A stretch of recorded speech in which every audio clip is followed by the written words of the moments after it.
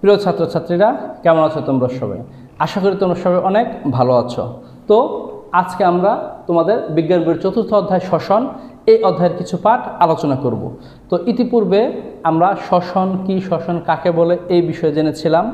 শ্বসনকালে আসলে তাপ শক্তি যে উৎপন্ন হয়, এর পরীক্ষামূলক যে প্রমাণ আছে, সোলাবিস অঙ্কুরিত এবং সিদ্ধ এবং তার মধ্যে থার্মোমিটার দিয়ে আমরা এই তাপমাত্রার বৃদ্ধিটি পর্যালোচনা করেছিলাম এবং এর ব্যাখ্যাটি করেছিলাম। তার মধ্যে আমরা পড়েছিলাম প্রাণীর শোষণ। আসলে প্রাণীর যে শোষণ, এর বিভিন্ন অঙ্গ রয়েছে, আমরা জানতাম যে উদ্ভিদের আসলে শ্বসনের বিশেষ কোনো অঙ্গ নেই। এটি আসলে উদ্ভিদের যে পত্ররন্ধ্র থাকে, ল্যান্টিসেল থাকে, কাণ্ডের অন্ত যে কোষ থাকে, এর মাধ্যমে গ্যাসীয় পদার্থের আদান প্রদানের মাধ্যমে মূলত এই শ্বসন ক্রিয়াটা সম্পন্ন করে থাকে। এরা যে উদ্ভিদ যে এই ক্লোরোফিলের সাহায্যে সূর্যের আলোর উপস্থিতিতে কার্বন ডাইঅক্সাইড গ্রহণ করে বায়ুমণ্ডল থেকে খাদ্য তৈরি করে, গ্লুকোজ জাতীয় খাদ্য তৈরি করে এবং পাশাপাশি অক্সিজেন নির্গমন করে এবং এর সাথে তাপ শক্তিটিও উৎপন্ন করে এই সংক্রান্ত বিষয়ে আমরা জেনেছিলাম। প্রাণীর শ্বসনের ক্ষেত্রে আমরা জেনেছিলাম যে প্রাণীর বিভিন্ন শ্বসন অঙ্গ রয়েছে। এদেরকে একত্রে বলা হয় শ্বসনতন্ত্র তো আমাদের যে প্রশ্নটি ছিল সেটি হচ্ছে কি? শ্বসন তন্ত্র কি? তো আমরা এটি জেনেছিলাম যে শ্বসনতন্ত্র কাকে বলা হয়। তো এই যে শ্বসনতন্ত্র আসলে যে সমস্ত অঙ্গগুলি মিলে এই শ্বসনের কাজে অংশগ্রহণ করে বা বিপাকীয় কাজে অংশগ্রহণ করে, তাকে আমরা এই শ্বসন বলে থাকি বা শ্বসনতন্ত্র বলে থাকি। তো আমরা জেনেছিলাম যে এই শ্বসন একটি দহন প্রক্রিয়া, অর্থাৎ এর ফলে প্রাণীরা কী করে? কার্বন ডাইঅক্সাইড ত্যাগ করে। আমরা যদি একটি বিক্রিয়া দেখি, যেমন মিথেন যেটি আমরা চুলায় ব্যবহার করি, রান্নার কাজে এই গ্যাসটি ব্যবহার করি। এই গ্যাসটি কি করে? মূলত অক্সিজেনের সাথে বিক্রিয়া ঘটে কার্বন ডাইঅক্সাইড গ্যাস নির্গমন করে। তো এই যে কার্বন ডাইঅক্সাইড গ্যাস নির্গমন করে, এটিকে আসে আমরা কি বলব? দহন প্রক্রিয়া বলব। এটাকে আমরা বলব মূলত দহন প্রক্রিয়া। তো এক্ষেত্রে আমাদের প্রাণীরা যে খাদ্যটি তৈরি করে এই খাদ্য তৈরি করার সময় এরা কি করে? অক্সিজেন গ্যাস নির্গত করে প্রশ্বাসের সাহায্যে। নিঃশ্বাস হচ্ছে, নিঃশ্বাসের সাহায্যে এরা কি করে? এই কার্বন ডাইঅক্সাইড গ্যাসটি তাদের দেহ থেকে নির্গমন করে। এই জন্য আমরা শ্বসনকেও একটি কি বলব? আমরা দহন প্রক্রিয়া বলব। আবার শ্বসনকে আমরা বিপাকীয় প্রক্রিয়াও বলতে পারি। এটি বিপাকীয় কাজে অংশগ্রহণ করে বিভিন্ন যে শারীরবৃত্তীয় কাজ আছে, এই শারীরবৃত্তীয় কাজগুলি কি করে? নিয়ন্ত্রণ করে। প্রাণীদেহের যে কোষগুলি আছে, এই কোষগুলি মূলত সরল খাদ্য গ্রহণ করে তোমরা পরবর্তী শ্রেণীতে, অষ্টম শ্রেণীতে জানতে পারবে। এদেরকে মনোস্যাকারাইজড বা ডাইস্যাকারাইজড বা ট্রাইস্যাকারাইজড বলা হয়। তো এই যে যাদের খাদ্য উপাদানগুলো এক থাকে, অর্থাৎ সরল খাদ্য থাকে, এই খাদ্যগুলো কিন্তু মূলত এই প্রাণীদেহের কোষগুলো শোষণ করতে পারে। কিন্তু প্রাণীরা আসলে যে সমস্ত খাদ্য গ্রহণ করে, সেগুলো হচ্ছে জটিল খাদ্য। তো আমরা পরবর্তী একটি প্রশ্ন লিখতে পারি। প্রাণীরা কোন ধরনের খাদ্য গ্রহণ করে? আসলে প্রাণীরা সাধারণত জটিল খাদ্যগুলি গ্রহণ করে থাকে। আর এই যে জটিল খাদ্যগুলি প্রাণীরা গ্রহণ করে, এই সকল খাদ্যকে এই পরিপাক্রিয়ার মাধ্যমে মূলত কি করে? একটি সরল খাদ্যে পরিণত করে। এই সরল খাদ্যগুলি আসলে এই প্রাণী কোষগুলো গ্রহণ করে। তো আমরা আরেকটি প্রশ্ন লিখতে পারি। প্রাণী কোষ কোন ধরনের খাদ্য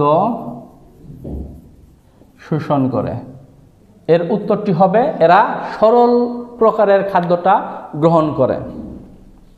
তো আমরা এই যে শ্বসন প্রক্রিয়ার যে অঙ্গগুলো ছিল, সেগুলো সম্পর্কে জেনেছিলাম যে প্রাণীর শ্বসনতন্ত্র কয়টি অঙ্গ নিয়ে গঠিত? প্রাণীর শ্বসনতন্ত্র কয়টি অঙ্গ নিয়ে গঠিত ও কি কি? তো এই ক্ষেত্রে আমরা জেনেছিলাম মূলত সাতটি অঙ্গ নিয়ে প্রাণীর শ্বসনতন্ত্রটি গঠিত। এই সাতটি অঙ্গের নাম তোমাদের অবশ্যই জানা থাকতে হবে, এদের বর্ণনাগুলো জানা থাকতে হবে। নাসারন্ধ্র, নাসাপথ, নাসাগলবিল, ষড়যন্ত্র, শ্বাসনালী বা ট্রাকে ক্রোম শাখা বা ব্রঙ্কাস, ফুসফুস এবং মধ্যচ্ছদা তো এই প্রকারের সাতটি অঙ্গ নিয়ে প্রাণীর শ্বসনতন্ত্রটি সাধারণভাবে গঠিত হয়ে থাকে। তো এদের বর্ণনাগুলো আমরা জেনেছিলাম যে নাসারন্ধ্র এবং নাসাপথ কি। নাসাগলবিল কি, ষড়যন্ত্র কি, শ্বাসনালী কি, ক্রম, শাখা বা ব্রঙ্কাস কি? এখান থেকে যে ছোট প্রশ্নগুলি হতে পারে, আমি ইতিপূর্বে ক্লাসে বলেছিলাম, কিন্তু প্রশ্নগুলি লিখে দেইনি। তোমাদের বলেছিলাম এগুলো আন্ডারলাইন করে দাগিয়ে দাগিয়ে পড়ার জন্য। তো আজকে আমি এখান থেকে যে প্রশ্নগুলি আসতে পারে, সেই সকল প্রশ্নগুলি লিখে দিচ্ছি। যে শ্বাসনালী কাকে বলে? আমাদের পরবর্তী যে প্রশ্ন হতে পারে, সেটি হচ্ছে, শ্বাসনালী কাকে বলে তো এই ক্ষেত্রে খাদ্যনালীর সম্মুখে অবস্থিত ষড়যন্ত্র থেকে শুরু হয়ে ক্রম শাখা পর্যন্ত বিস্তৃত নালীকেই শ্বাসনালী বলা হয়ে থাকে। শ্বাসনালীর মাধ্যমে বায়ু ফুসফুসে প্রবেশ করে। তো এখান থেকে আমাদের আরেকটি ছোট প্রশ্ন হতে পারে। বায়ু ফুসফুসে প্রবেশ করে কোন পথে। আসলে বায়ু এই শ্বাসনালীর মাধ্যমে ফুসফুসে প্রবেশ করে থাকে। তো আমরা আরেকটি প্রশ্ন বলতে পারি যে, ভোকাল কর্ড এর অবস্থান কোথায়? আমরা যদি আরেকটি প্রশ্ন লিখি, তাহলে এই প্রশ্নটি আমরা ইম্পর্ট্যান্ট বা গুরুত্বপূর্ণ প্রশ্ন এটি আমরা লিখতে পারি যে, ভোকাল কোডের অবস্থান কোথায়? ভোকাল কর্ডের অবস্থান কোথায়? তো আসলে এই ভোকাল কর্ডটা কি? এই যে ষড়যন্ত্র আমরা কথা বলি, কারও কথা অনেক মোটা হয় এবং আসলে পুরুষদের কণ্ঠটা অনেক মোটা হয় আর নারীদের বা শিশুদের কণ্ঠটা অনেক চিকন হয়। অর্থাৎ এই যে ষড়যন্ত্র এরখানে আমাদের এই ভোকাল কর্ডটা অবস্থিত থাকে গলার এখানে, এই কণ্ঠনালীতে। এখান থেকে আসলে এই কম্পনের ফলে শব্দটা সৃষ্টি হয়। তাহলে আমরা ভোকাল কর্ডের অবস্থানটা কোথায় বলতে পারি? এটি হচ্ছে ষড়যন্ত্রে অবস্থান করতে পারে।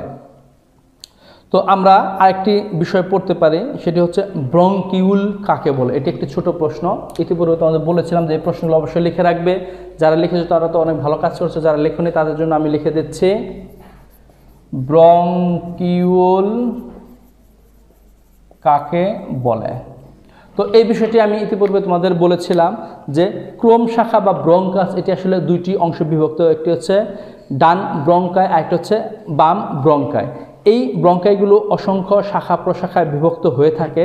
এই সকল যে শাখা প্রশাখা বিভক্ত ব্রঙ্কাইলগুলো আছে, এদেরকে আমরা একত্রে ব্রংকিউল বলে থাকি। তো এই যে সংজ্ঞা জাতীয় প্রশ্ন, এগুলো কিন্তু এই যে ব্রংকিউল কাকে বলে যে প্রশ্ন যে এখন লেখলাম, এটা কিন্তু খুবই গুরুত্বপূর্ণ, এটি কিন্তু তোমাদের পরীক্ষায় অবশ্যই অবশ্যই আসবে। তো এই বিষয়টি অবশ্যই মাথায় রাখবে যে আমরা আসলে যে সমস্ত বিষয়গুলো রিডিং করি, এখান থেকে যে সকল ছোট প্রশ্ন আসতে পারে, জ্ঞানমূলক প্রশ্ন, এখান থেকে যদি আমরা এগুলো শিখতে না পারি, তাহলে কিন্তু আমরা পরীক্ষাতে ভালোভাবে লিখতে পারব না। তো আমাদের যে পরবর্তী প্রশ্ন আসে, সেটি হচ্ছে যে ফুসফুস, এই ফুসফুস আসলে কি? আমরা যে বায়ুগুলি গ্রহণ করি, এই বায়ুগুলো আসলে ফুসফুসের মাধ্যমে অক্সিজেনগুলো আমাদের ব্লাডে মিশে থাকে, হৃৎপিণ্ড তাকে মিশতে সাহায্য করে। তো এই ক্ষেত্রে আমাদের একটি প্রশ্ন ছিল যে ফুসফুস কিন্তু দুইটি অংশ বিভক্ত, একটি বাম অংশ, একটি হচ্ছে ডান অংশ। কোন অংশটি বড় এবং কোন অংশটি ছোট সেটি সম্বন্ধে বলেছিলাম, তো আবার বলছি, ডান পাশের ফুসফুসটি সাধারণত বাম পাশের ফুসফুসের চেয়ে সামান্য বড় হয়। তো এক্ষেত্রে আমাদের ফুসফুসটি প্লুরা নামক একটি পর্দা দ্বারা আবৃত থাকে। তো এটি আমরা লিখতে পারি একটি প্রশ্ন হিসেবে যে ফুসফুস সাধারণত কোন ধরনের পর্দা দ্বারা আবৃত থাকে? এটি কিন্তু খুবই একটি ভালো প্রশ্ন। এটিকে আমরা লিখতে পারি এইভাবে একটি ছোট প্রশ্ন। প্লুরা কি? এই প্রশ্নটি কিন্তু আমাদের পরীক্ষা আসে প্লুরা কি? প্লুরা হচ্ছে ফুসফুস যে পাতলা দুই ভাস বিশিষ্ট স্তর দ্বারা পাতলা স্তর দ্বারা আবৃত থাকে, তাকে আমরা সাধারণভাবে প্লোরা বলে থাকি। তো আজকের যে প্রশ্নগুলি ছিল, এই প্রশ্নগুলি এগুলি কিন্তু তোমাদের ইতিপূর্বে আলোচনা করা হয়েছিল, কিন্তু প্রশ্নগুলি লিখে দেওয়া হয়নি বলেছিলাম তোমরা লিখে পড়বে। তো আরেকটি প্রশ্ন আমাদের আছে, যেটি হচ্ছে মধ্যচ্ছদা। আমরা এটি পড়েছিলাম যে আমাদের যে বক্ষ এবং উদর গহ্বর যে আছে, এদেরকে বিভক্তকারী যে অংশটি, সেটি হচ্ছে কি? মধ্যচ্ছদা। অর্থাৎ যে মাংসপেশী বক্ষ গহ্বর এবং উদর গহ্বরকে পৃথক করে রেখেছে, তাকে মধ্যচ্ছদা বলে। তো আমরা আরেকটি প্রশ্ন লিখতে পারি। মধ্যচ্ছদা কি? অর্থাৎ আমরা এইভাবে আবার সংখ্যাটি বলি যে মাংসপেশী বক্ষ গহ্বর এবং উদর গহ্বরকে পৃথক করে রাখে, তাকেই আমরা মধ্যচ্ছদা বলে থাকি। তো আশা করি আজকের যে ক্লাসটি ছিল, তোমাদের যে ছোট প্রশ্ন, জ্ঞানমূলক প্রশ্নগুলো, এগুলি তোমরা অনেক ভালো বুঝতে পেরেছ। তো পরবর্তী ক্লাসে আমরা আবার এই অধ্যায়ের পরবর্তী যে পাঠ আছে, সেই সকল পাঠ থেকে কী জাতীয় প্রশ্ন থাকতে পারে এবং কীভাবে তাদের উত্তরগুলো লিখতে হবে এই বিষয়ে আলোচনা করব। তো ততক্ষণ পর্যন্ত তোমরা সবাই বাসায় থাকো, সুস্থ থাকো মা বাবার প্রতি যত্নশীল, কর্তব্যশীল হও এবং মিথ্যা বলা পরিহার করো। এই আশাবাদ ব্যক্ত রেখে আজকের ক্লাস আমি এখানে শেষ করছি। ধন্যবাদ সবাইকে।